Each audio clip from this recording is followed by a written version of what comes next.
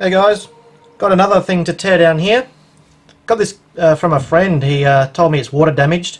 I've tried to charge it and it doesn't really seem to work too well. It's actually a an NEC brand WiMAX 2 Plus Speed Wi-Fi Next WX01. A little bit of uh, English on the front there maybe, but it's a uh, it's a mobile cell-based uh, Wi-Fi access point. So you, you've got a SIM card or something in there, and it'll um, uh, give you Wi-Fi access for your mobile phones or whatever, you know, if you're traveling and that sort of thing. So uh, my friend has these for his Airbnb, so gives one, you know, per room, and uh, travelers can use their mobile phones and still access Wi-Fi for Google Maps and all that sort of stuff. So I have tried charging it, and it comes up with a little charging icon. I think you can just see it there, but it soon goes out, and when I turn it on, it comes up with a message that says something in Japanese. Um, but apparently it's not working because it got water damage. Someone must have dropped it in the toilet, maybe. I don't know. They it, it, it must have been left out in the rain. But it's um, I thought I would keep it because it's got a lithium battery in there and it's got like a what looks like an OLED screen, so I can probably use it as parts. But I thought we'll have a look inside and see what it's got. So it looks like I can take the back off just here, and we've got all the uh, internals. So scribbled there 2016 that must have been the date that it was bought. It's got all the relevant marks.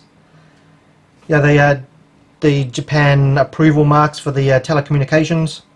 But it is a NEC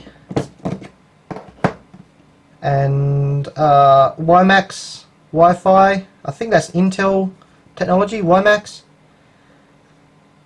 and it's on the KDDI network I think. That's a, a Japanese uh, telecommunications like you got Comcast and all that sort of stuff in the States, or in Australia you've got yeah, Telstra and Optus. KDD, KDDI is uh, one of the Japanese providers, along with Docomo and SoftBank. It looks like that's our SIM card there actually. I might pull that out and it's probably been cancelled, but I'll retain that, give it back to my mate.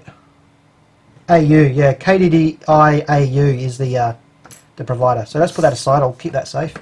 So I got this battery, nice size battery. It's a uh, 2.5 amp hour, 2,500 milliamp hour, 9.5 watt hours, and it's uh, 3.8 volt, a single cell. So that definitely will be useful. And then we've got, looks like, six screws to open the thing up. So let's pull that apart. Alright, so I got those tri-wing screws out, little tamper-proof screws. There's six all up. And it looks like there's little clips. So I'm going to have to kind of get this thing, leave it open.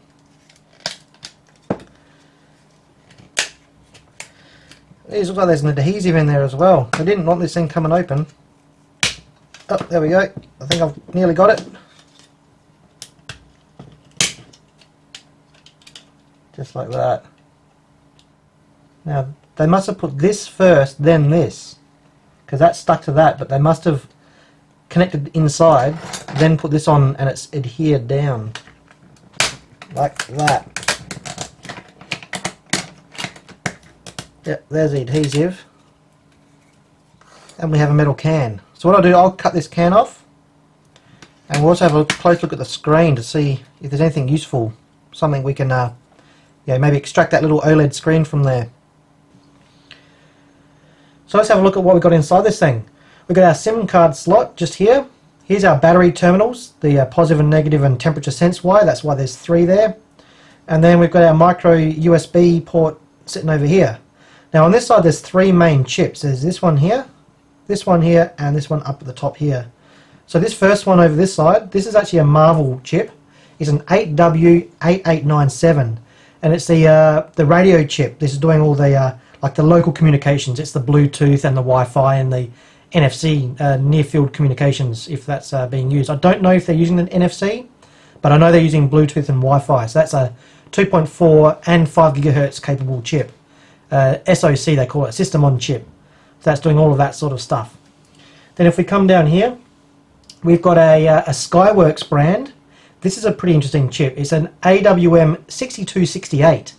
And this is actually a, a gigahertz power amp uh, 2.5 to 2.7 gigahertz power amp module for WiMAX and uh, LTE. So this is actually uh, like an amplifier that's connected to the uh, antenna or whatnot, and that's boosting the signal so we can get a decent range. So that's a pretty cool little chip.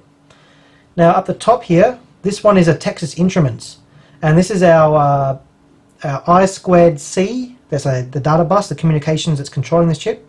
It's a uh, 4.5 amp single cell USB charge controller, and its part number is BQ24193. So that's basically what's taking the power in from the USB and then using that chip to then charge the battery and that sort of thing. It's, it's a charging chip and that's why we got a few large capacitors here and uh, whatnot. So most of these parts around in this area will be to do with the charging of the battery and monitoring the voltages and that sort of thing.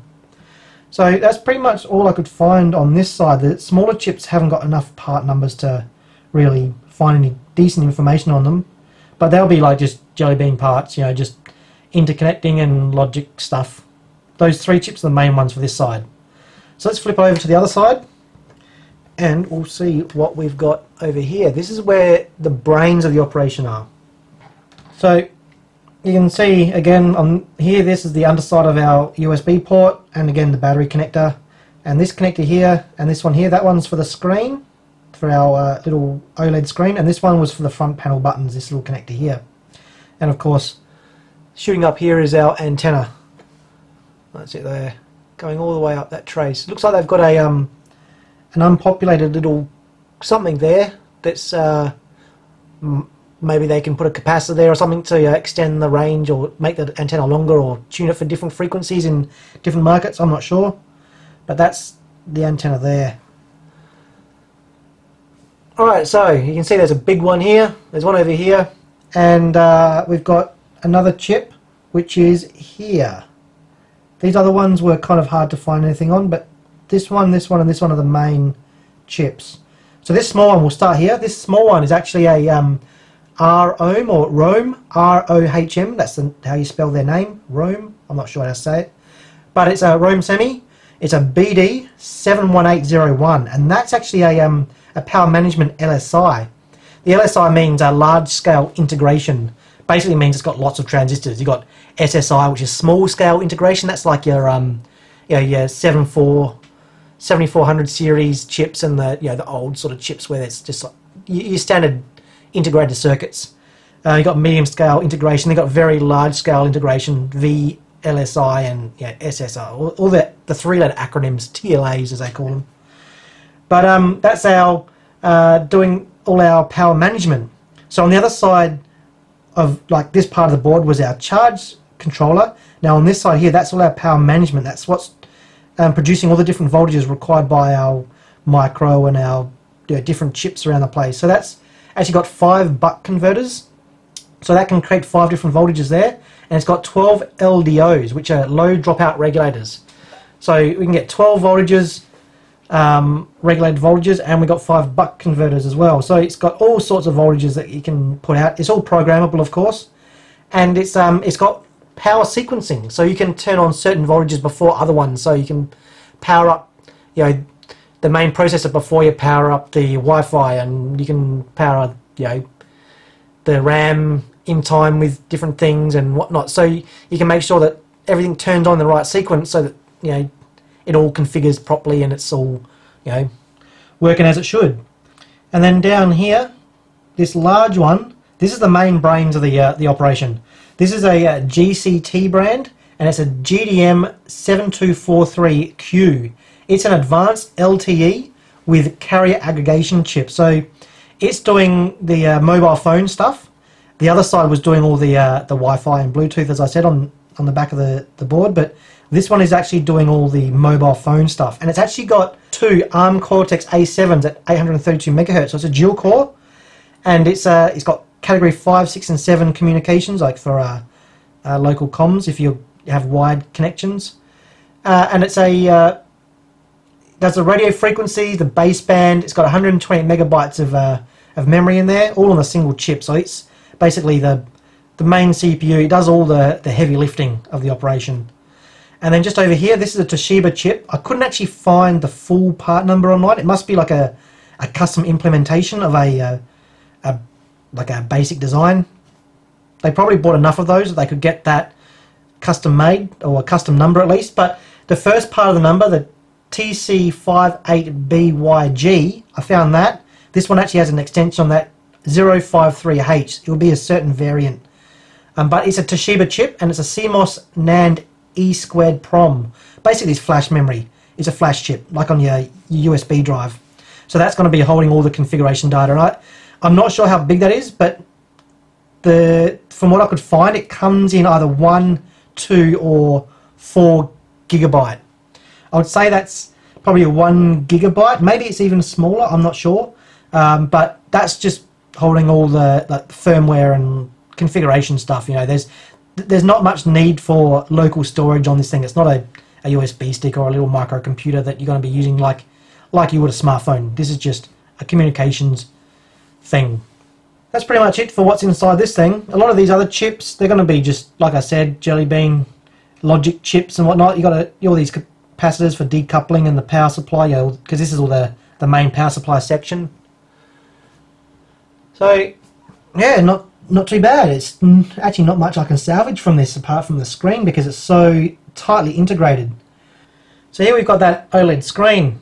It's a tiny little thing. It's about, oh, well, not much bigger than my thumbnail. So I'll keep this one because I might be able to find a use for it. I can't actually find any data sheets or any information about it at all really online. Uh, the part number 0D8-81H118, I can't find that. There's nothing comes up for that. So there is another number 4204 and then 12 down the bottom on the flat flex and B6 which is probably just like a, a lot number or something on the glass. But you can see the dark blue is where the uh, the actual screen is of course and then we got our, our chip on glass, which will be a driver chip for the uh, for the OLED screen, and that comes out to the uh, the normal flat flex cable. So maybe I can find, I know on eBay or something. Maybe there's a, a similar screen on a breakout board, and I can get this thing working somehow. But I'll, I'll keep that anyway, and uh, see what I can do with it. So that's what you're going to find inside one of these mobile Wi-Fi access points. Small PCB with all the smarts on the system on chips. Pretty tightly integrated there and just a few parts. So I'm going to keep the uh, battery in the screen, they'll go in the parts bin and might come in handy one day. And the rest, yeah, pretty much just throw it in the bin. Alright, we'll see you next time.